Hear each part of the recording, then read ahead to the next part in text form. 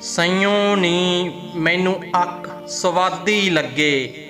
ਪੀੜਾਂ ਹੇਠ ਹੰਡਾਵਾਂ ਜਿੰਦੜੀ, ਸਾਵਾਂ ਦੇ ਵਿੱਚ ਖੱਗੇ, ਮੈਨੂੰ ਅੱਕ ਸਵਾਦੀ ਲੱਗੇ।